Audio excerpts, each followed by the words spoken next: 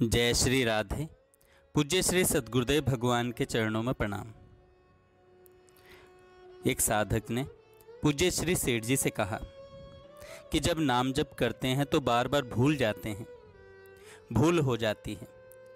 पूज्य श्री सेठ जी कहते हैं, जप का अधिक अभ्यास करने से ही जप की भूल दूर हो सकती है, एवं भूल होने पर भी प्रसन्न मन से जप करने का अभ्यास रखने से आगे चलकर प्रेम पूर्वक जप हो सकता है।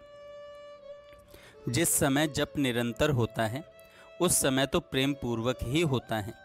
वैराग्य होने पर तो ध्यान सहित जप बिना चेष्टा के ही निरंतर होता रहता है।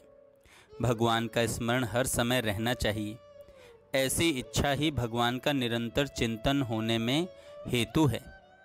यदि जप करते समय संसार की स्फूर्णा हो तो बलात् भगवत विषयक स्फूर्णा उत्पन्न कराने का अभ्यास करना चाहिए।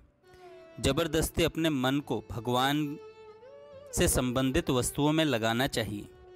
ऐसा अभ्यास करने से जप के साथ साथ ध्यान की वृद्धि और सांसारिक वासना का नाश हो सकता है।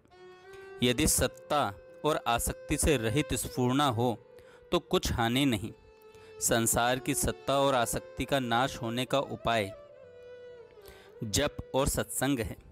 इनके होने में अभ्यास की बहुत अधिक आवश्यकता है। भगवान नाम का स्मरण हर समय रहना चाहिए।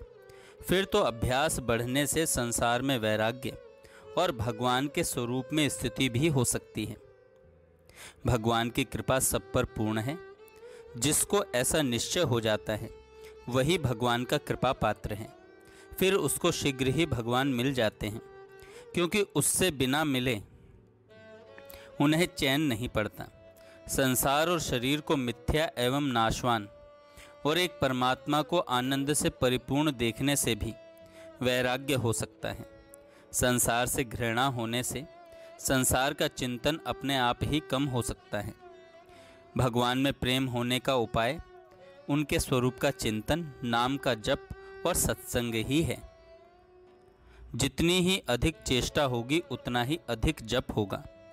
जो भगवान को सर्वत्र, सर्वज्ञ, अंतर्यामी, दया सिंधु एवं बिना कारण ही हित करने वाला जानेगा, सो कभी किसी वस्तु के लिए उनसे प्रार्थना नहीं करेगा।